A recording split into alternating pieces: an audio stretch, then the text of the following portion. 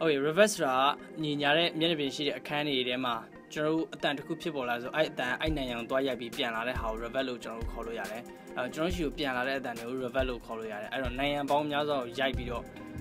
ပြန်လာတဲ့အတန်ချင်းထက်တိုက်ထက်တိုက်ပြီးပြန်သွားတဲ့အတန်တွေနိုင်ရန်ကိုပြန်ရောက်အဲ့လိုပဲနိုင်ရန်နေဆင်ကန်းဆင်ကန်းနေနဲ့အတန်တွေ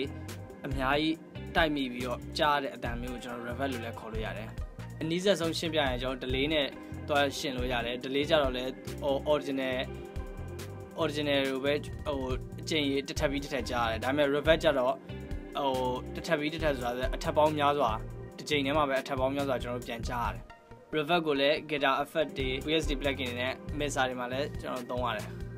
revert အနေနဲ့ revert setting လေးတွေရှိတယ် revert setting လေးတွေမှာဆိုလို့ရှိရင် hall setting ရှိမယ်ပြီးရင် chamber room plate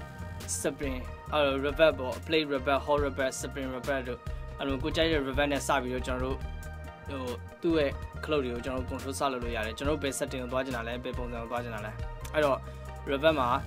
အဲ visit အနေနဲ့ကတော့ drawing word ရှိတယ် drawing word ကတော့ခါတိုင်းလိုပဲ miss level လိုပဲကျွန်တော်တို့ reverse original ကနေ reverse တွေကိုဘယ်လောက်ရောက်သွားခြင်းလဲပေါ့ဒီကျွန်တော်တို့ယူထားတဲ့ level ပေါ်မူတည်ပြီးတော့ကျွန်တော်တို့က reverse back ကိုဘယ်လောက်ထိအများကြီးချိန်သွားခြင်းလဲကျွန်တော်တို့ဒီကနေတော့ control လုပ်လို့ရမယ်နောက်ထပ်က pre delay pre delay ဆိုတာကျွန်တော်တို့ရဲ့ original အတန်တစ်ခုဖြစ်သွားတယ်ပြီးရင် reverse ဖြစ်တယ်ကျွန်တော်တို့ရဲ့ original အတန်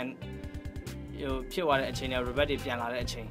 ဘယ်လောက်မြန်ခြင်းလဲဘယ်လောက်နှေးခြင်းလဲပေါ့ဒီအခန်းအကျယ်ကြီးပုံစံ reverse setting လုပ်ချင်တယ်ဆိုလို့ရှိရင်ကျွန်တော် pre delay ခုနလို reverse နဲ့ original နဲ့အရန်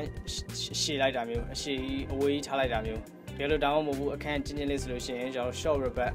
short reverse ကြတော့ချက်ချင်းပြန်ရတဲ့ revert တစ်ခုလိုမျိုးပေါ့နောက်ထပ်က revert time revert time ကျတော့ revert တစ်ခုဖြစ်သွားပြီအဲ့ revert တစ်ခုကိုဘယ်လောက်အချိန်အကြာကြီးဆွဲထားခြင်းလဲဘယ်နှစ်စက္ကန့်ထားခြင်းလဲအဲ့ revert time ပဲ